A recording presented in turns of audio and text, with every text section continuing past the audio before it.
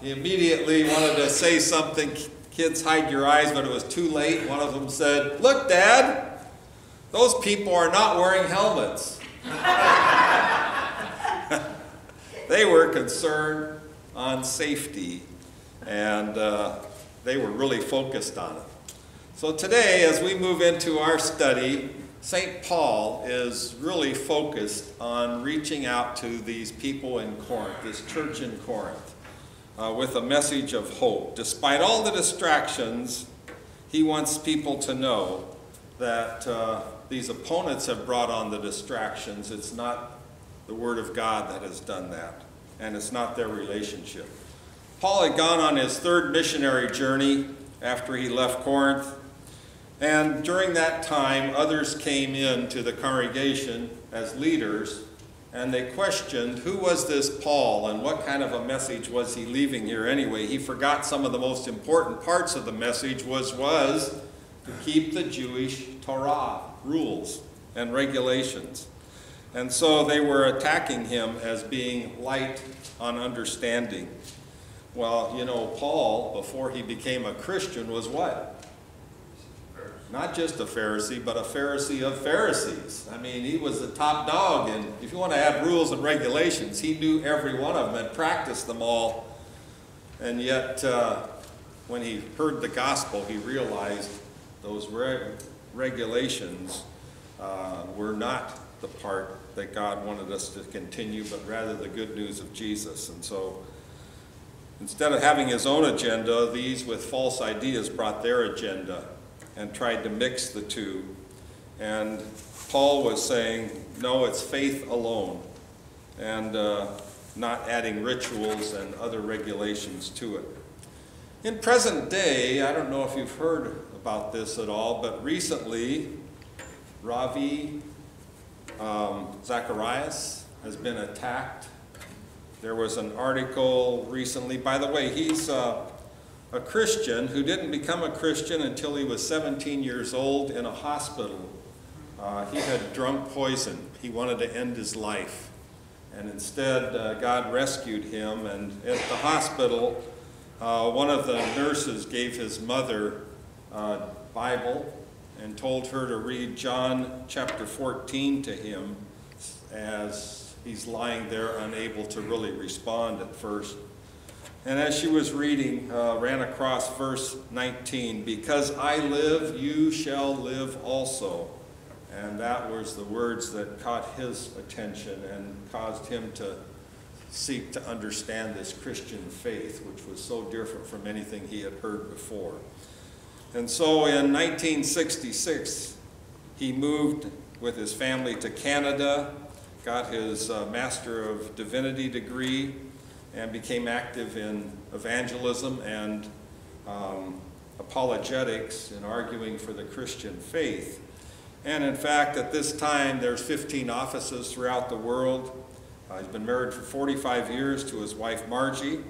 But recently, Christianity Today had an article um, that came up Ravi Zacharias responds to sexting allegations. As you heard, that's a big thing going on at this time in our news. Seems like every one of some ilk is being uh, picked out.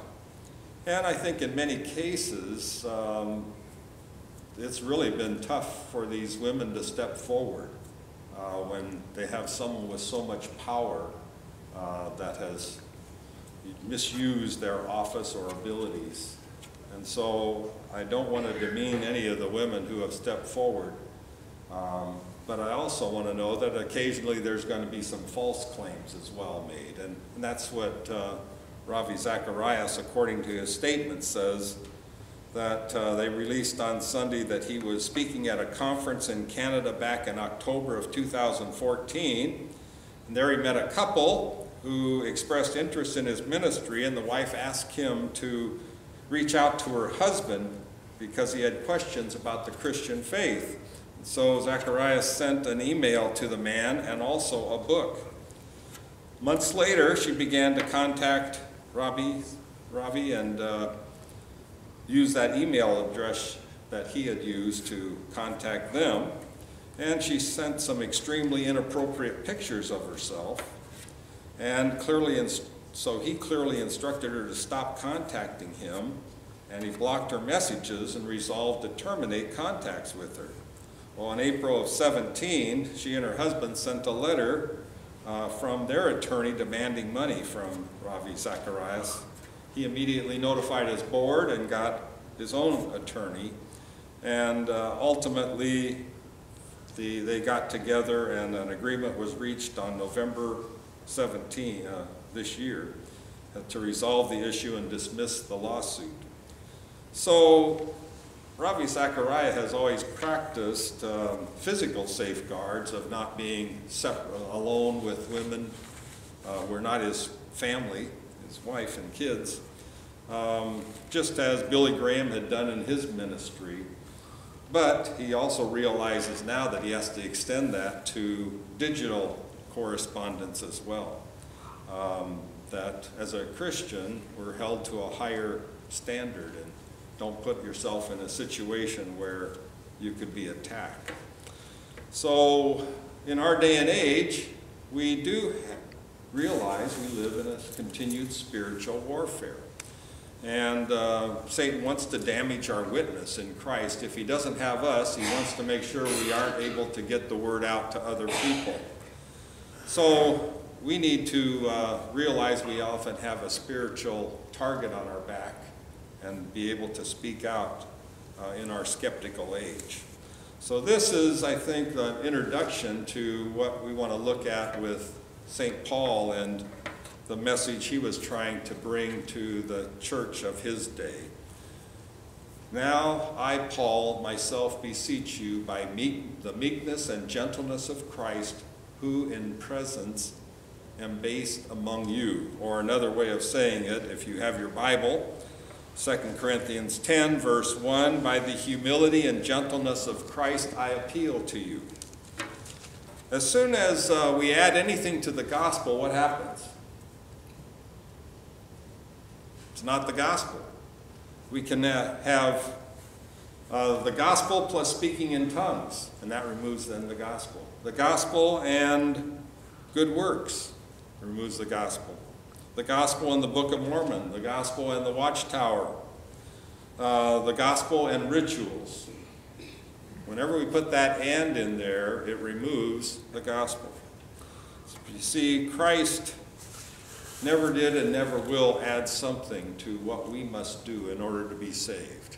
He came that we might have life in his name and the forgiveness of our sins. It depends upon Christ alone. He's done everything on our behalf what I was alluding to, uh, or going to allude to, was from your children's message today. A, a little girl went to her mother and asked, How did the human race get started? And she said, Well, God created Adam and Eve, and thus we have the human race. So she goes to her dad, who was not a Christian, and she said, How did we get here? And he says, Well, we evolved from monkeys. Well, the little girl thought about that, went back to her mother and said, Mom, why did Dad tell me a different story? Her mom said, Well, I told you my side of the family, and he told you his side of the family. so, good job, Dave, for setting me up. As uh, Paul was from Christ, and therefore acted like Christ, uh, but his critics had added something to that. They loved to boast about their efforts. And remember that this church was divided back in 1 Corinthians um, chapter 3, verse 4, we says, one of you says, I follow Paul, another I follow Apollos, another I follow Cephas, still another I follow Christ. And so this divided church was already having its problems. And therefore, when these others come along now to attack Paul, he goes back to his passage, meekness and gentleness of Christ. That's what he was coming to bring to them. Um, his humility when he was face to face with them, and bold when he was away. And we're going to talk about that in just a little bit. Um, so then he said there was no more boasting about uh, human leaders in verse 21 of chapter 3. These false teachers apparently had a real charisma about them, a way of their personality charming people. And Paul, it's quite impressive to me that he appeared to the people rather meek and unimpressive. Um, do you ever get that when you think of reading some of Paul's letters that he was rather meek and unimpressive? And so it appears to me that when he spoke to them in public, he was not much of a physical specimen, nor was he able to really uh, speak his heart as well. But when he got away and started writing about it, he put a little thunder on some of the statements that he made. Uh, and that just amazed me. I, I read several commentaries about that, and that's what the assumption of all of us at this time in life are that he was a much better writer, and here he's the real foundation of many of the points of the New Testament. Um, and so he comes off as a humble and gentle person. Uh, he's but wasn't meek, or weak rather, as far as uh, physically goes. I mean, look at what he went through. He shipwrecks and all kinds of beatings, and yes. Well, that's very interesting to me because I remember, I don't remember exactly where, but where it talks about how he, he would get up in public and he'd argue with the Pharisees. Yeah. So Mars Hill and maybe all this that. is another case where he is to these people what he needs to be. Yeah. Because, yeah, I mean, he would argue and he, win the arguments. 'cause he Yes. you know, straightforward. Mm-hmm. But I guess he wasn't a big person about that or something. Uh, didn't gloat in his things. I guess I could have flipped through a few things. Uh, we'll get back to that in a little bit. Uh, Jesus describes the way he was acting in public as well in verse chapter 11 verses 28 and 29 of Matthew. Come to me, all you who are weary and burdened, I will give you rest. Take my yoke upon you and learn from me, for I am gentle and humble in heart, and you will find rest for your souls. So when Jesus tells us to learn from him, he points out two words gentle and humble. Um, so Paul apparently, when he would speak to these folks, uh, wasn't trying to get into a fight with them, but rather brought the message in humility and weakness. Uh, so he put into practice Christ's teachings. When you think about it, a wild horse is not a lot of use to you unless it gets trained, but it's got tons of power. What happens when it gets trained? Still has tons of power. It's just redirected uh, to serve someone rather than to uh, simply show its wildness or power. And so uh, that's what is trying to be spoken of here. Um, this phrase we've heard in other settings if you think meek is weak, try being meek for a week. Um, think about that the Paul came not to lord it over the people or to say, I demand you to follow me type of a format, but rather apparently in the quietness of his teachings was helping people discover what the Word of God really was, while the group that came in after him was making attacks against him. Um, and I think about Christ at his trial. What did he say? He was silent. He had every reason to state that the witnesses were lying, that the case shouldn't even be considered, but instead, in silence, he went and carried out his mission and ministry. And so, uh, apparently, that's the way Paul was attempting to bring these people from um, non Christians into the faith uh, through meekness and serving them. when you think about it, how does, I mean, you and I are supposed to be carriers of good news to our neighbors and friends, and what stops us?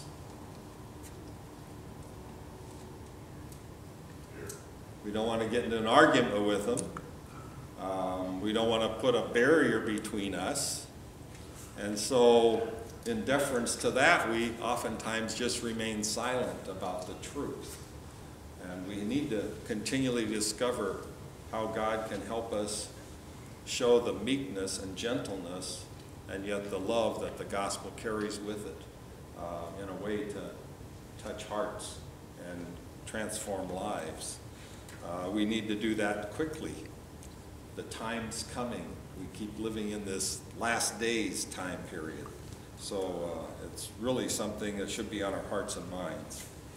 Well, let's move into our reading for today from 2 Corinthians chapter 10, and especially verses uh, 1 through 6. Would someone care to read those for us? Now I, myself urge you by the meekness and gentleness of Christ, I who am face to face with you, but bold toward you when absent. I ask that when I am present, I may not be bold with the confidence with which I propose to be courageous against some who regard us as if we walked according to the flesh. For though we walk in the flesh, we do not war according to the flesh. For the weapons of our warfare are not of the flesh, but divinely powerful for the destruction of fortresses. We are destroying speculations and every lofty thing raised up against the knowledge of God, and we are taking every thought captive to the obedience of Christ, and we are ready to punish all disobedience whenever your obedience is complete. All thank you. So, what does he say? We have weapons to use, but we don't use the weapons that the world uses. Uh, what are some of those weapons that the world uses? Get them. That's right. This uh, another translation of it is this: I hope I won't need to show you when I come with harsh and rough how harsh and rough I can be. This is from the Living Bible. I don't want to carry out my present plans against some of you who seem to think my deeds and words are merely those of an ordinary man. It is true that I am an ordinary weak human being, but I don't use human plans and methods to win my battles. I use God's mighty weapons, not those made by men, to knock down the devil's strongholds. These weapons can break down every proud argument against God and every wall that can be built to keep men from finding him. With these weapons, I can capture rebels and bring them back to God and change them into men whose heart's desire is to obedience to Christ. I will use these weapons against every rebel who remains after I have first used them on you yourselves and you surrender to Christ. So that's apparently how Paul came off as a weak or meek type of person. Uh, he wasn't there to lord it over them and to make demands upon them. You know, decoys, um, they are impressive sometimes. Have you ever been in the Midwest driving on some roads and seen they have this shell of a car or sometimes just a painted board of a car to help you slow down and uh, obey the speed limits and rules of that area. And of course, sometimes they back it up with a real person who then pulls you over, right, if you don't follow those things. I've discovered that as well. so, Paul was saying, I'm not using decoys or it didn't come to tear you down or deception. Um, in fact, I understand that during World War II, one of the favorite tactics of the Allies were to have wooden pictures of trucks or tanks, and uh, so the enemy could put their barrage of ammunition on something where no one was and waste their time and energies on those types of things uh, since they look so good from up above. But Paul wasn't using those kind of things. He wasn't trying to manipulate people into the Christian faith. but he rather wanted the truth of God's word to be what shined forth, what did all the work. And so uh, through that process, then he could smash their clever arguments and point out their false doctrines. So his purpose in verse 5 um, was to build up, not tear down. And so in verse 8, we read these words So even if I boast somewhat freely about the authority the Lord gave us for building you up rather than tearing you down, I will not be ashamed of it. So uh, his desire then was this build up for maturity instead of tearing down, which is immature. How many of you have uh, played blocks with your little grandkids, especially when they're real young? You put together a few things, and what do they come and do? Knock them down. And it takes a few years sometimes before they want to join in on the building up part. The tearing down is easy. And they giggle about it, and so do you. Uh, you put something up and it gets knocked down immediately. But that shows immaturity. And when they start moving on in maturity, then they start helping build up. Um, and so that's what Paul is saying here, too, that his desire was to build up this congregation, not to tear it down. And so in verse 7 and the following, uh, we continue through verse 11. If someone would care to read that. Look at what is before your eyes. If anyone is confident that he is Christ, let him remind himself that just as he is Christ, so also are we. For even if I boast a little too much of our authority, which the Lord gave for building you up and not for uh, destroying you, I will not be ashamed. I do not want to appear to be frightening with you, frightening you with my letters, for they say his letters are weighty and strong, but his bodily presence is weak, and his speech of no account.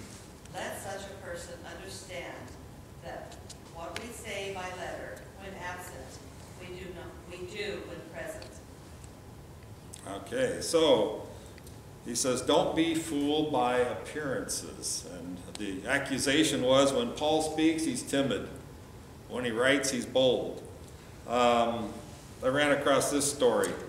A visitor to a, a zoo uh, noticed one of the keepers sobbing quietly in the corner, and so inquired about that and was told that an elephant at the zoo had died that morning. And the visitor replied, Was he fond of that elephant? And the man replied, Not really, but he's the chap who gets to dig the hole for the elephant.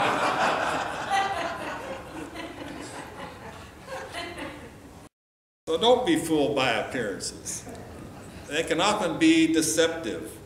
Um, Paul's letters do pack a punch, and he's not much to look at, though, when he's preaching. Uh, some said he was even boring. What, remember the story of the guy falling out the window? when Paul's teaching all night long. Um, so to me, that just is amazing thought to hear that God could use someone who probably didn't come off as a as televangelist to start his ministry and to build up so many people in the faith and to uh, move people from adamantly opposed to the Christian faith into very disciples of Jesus Christ.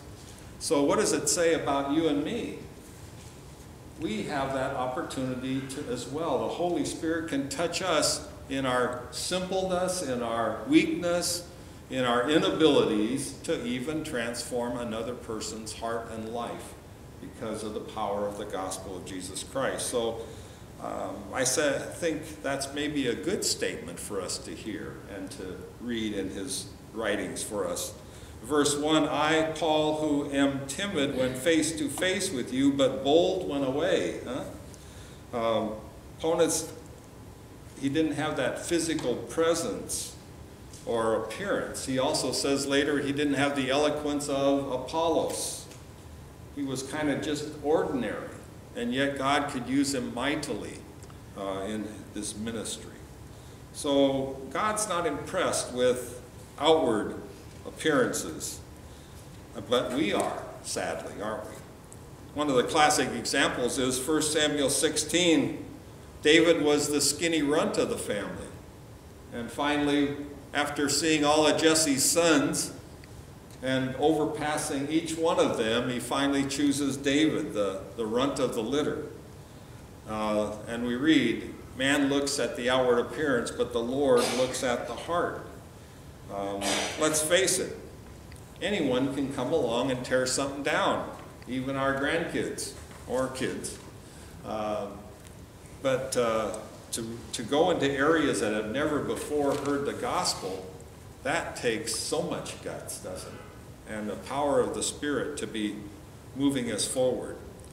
Um, so his word boasting, he uses it 12 times in this letter. And what does that mean to boast? Speak up. Speak out? To list your own accomplishments. Yeah, I think uh, tends to have a negative term, doesn't it? Uh, in the sense that I'm strong and myself. I can do this. And Paul was saying that uh, his boast has to be in Christ, in the Word of God that he's placed on his heart and mind, not on his physical ability to be a strong, forthcoming person. Uh, verse 13 will only glory in the task that God has given to him. Um, we, however, will not boast beyond proper limits, but will confine our boasting to the sphere of service God Himself has assigned to us, a sphere that also includes you. so, the purpose of the gospel is not to build a Disneyland here on earth, it's to build and expand the kingdom of God that is all around us. I guess that has to lead us to ultimately say, what is our passion? Let's see, did I put one in? Yeah. Verse 18 For it is not the one who commends himself who is approved, but the one whom the Lord commends. What is our passion?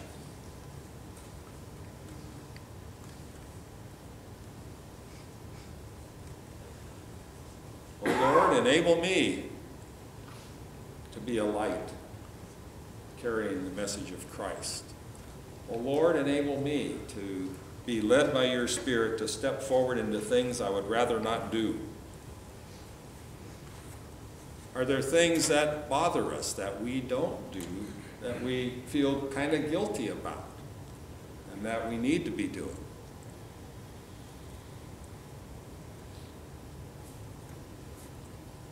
How do we move from quietness to a boldness not on ourselves but on Christ? We're coming to the end of this year, and how do we get the word to San Lorenzo Village that there's a place you can meet Jesus right here? Uh, I know the Bethlehem Express is coming. Are we getting the word out to the neighborhood that they're invited to participate, to be a part of it? Um, Are we doing the same thing for Christmas Eve and Christmas Day? Any ideas? How can we be used by God to be a force of victory that Paul talks about in his statements? Yes, sir. But just another thing about Paul somewhere, I don't, I don't know where it's at, but it talks about him having some sort of um, a thorn in his flesh, impediment, and, and his Yes. thing was always in my weakness, he was strong. Mhm. And then God, you know, well, they laid that on him, that he would not to rely on himself, not to think that he's the one that's doing it, but in Mhm. his weakness, God is using him in a mighty way. Yes, very good. And do we uh, look for our weaknesses and say, Lord, this is one I'm giving to you to use me somehow?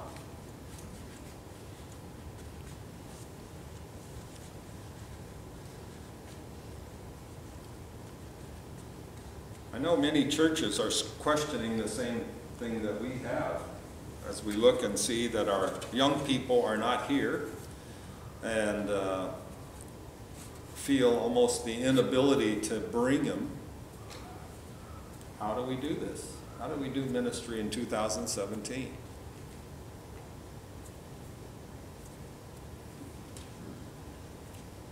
Yes, ma'am.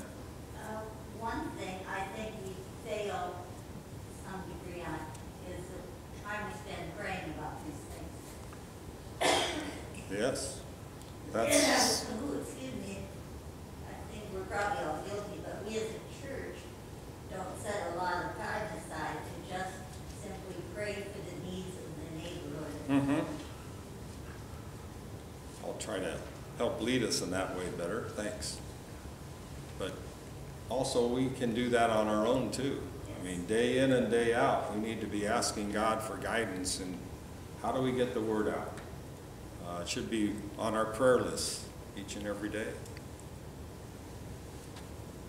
Years ago, we did something, I think was called For Pete's Sake. Um, It was where you really prayed about one individual, and then that individual, you, you know, you really try to befriend and, and, uh, you know, be an encourager, whatever it Mhm. is, to, you know, to gain the trust so that somewhere along the line, you may have the opportunity to share it with them and bring them to Christ. And, You know, sometimes I, I think that we're, I think we need to do the whole ball of wax rather than one-on-one, you know, one, one at a time. We got like fifty or fifty-five people coming to church on Sundays, if each one of us would just bring one person to church in a year, we, you know, we double our size, so. Good point. As Leah's school becomes more involved, like this writing with singing and, and again in April, I think trying to approach the children and their parents as they participate. um, Mhm. Again, as much as we can, and would involve them. And they're willing to hopefully Yeah, get involved. Good point. Use the resources at hand. You know, we already have that prayer group on Wednesday at, at eleven thirty, Mm-hmm. the praise, and, um, by joining that, that would be helpful Mm-hmm. as far as, uh. More prayer warriors here.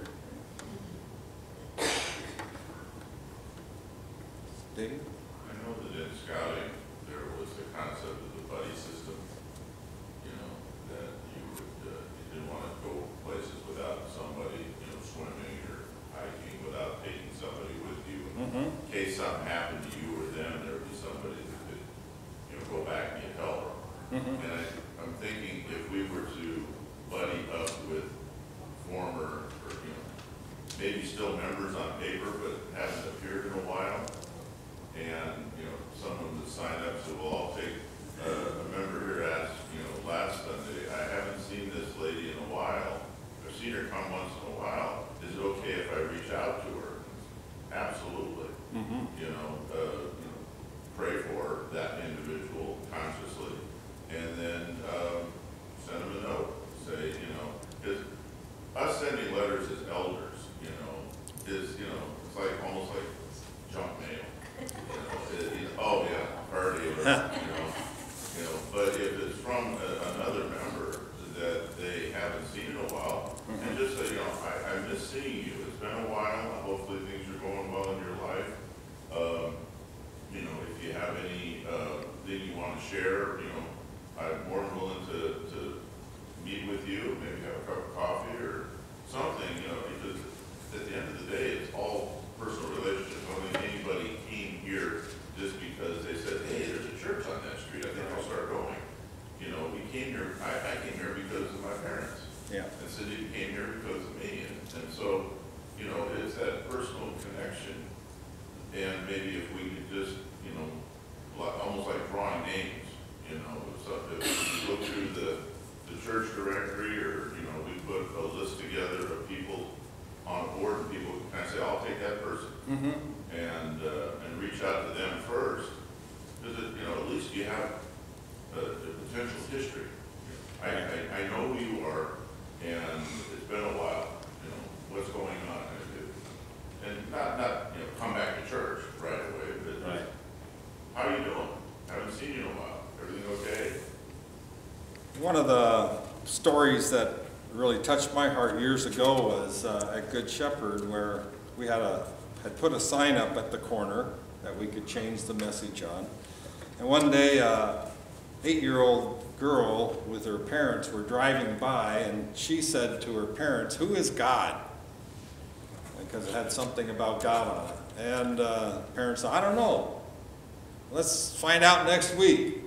Or Sunday, this Sunday, whenever it was, I can't remember what part of the week it was. And anyway, so she brought, this eight-year-old brought her parents, and eventually they came, became regular members of the congregation. Uh, So, I mean, it's simple things. I'm sure that started with prayer. Someone was praying that God would get the word out, and this little girl took it to heart. Um, We have, as you said, a number of kids coming in and out of here and on a regular basis. How do we help them start asking questions of mom and dad? Yes? I was just wondering with Bethlehem Express coming on Friday, is, is, that something gonna go out on, like on e-prayer explaining, um, cause that goes to a lot of people who don't come to Mhm. church. Because it- I don't know if that was, is, something like what's in the bulletin, well, they, not that they need help, but just to invite them and explain how it Mhm. That, you you know, that you can come at six o'clock or whatever it is, six, six thirty, seven o'clock. Yeah, I didn't know how it worked, so. I understand I'm in it. I'm just saying, you know, invite your, fr- invite your friends, something nice, you know. Yeah. That's a, a good point. Put that on our notes for Tuesday morning. What is on Facebook, it is on Facebook. It is? Archie posted it on Facebook. Hmm. And you get to Facebook by joining Facebook. Okay. I Okay. actually put it on the uh, San Lorenzo community page, Oh, and I've also just put it out on general. okay. Us, uh, from another generation, struggle with some of that stuff. I don't care what you eat for breakfast. You don't? I can't help it. I might have garlic, then you would care.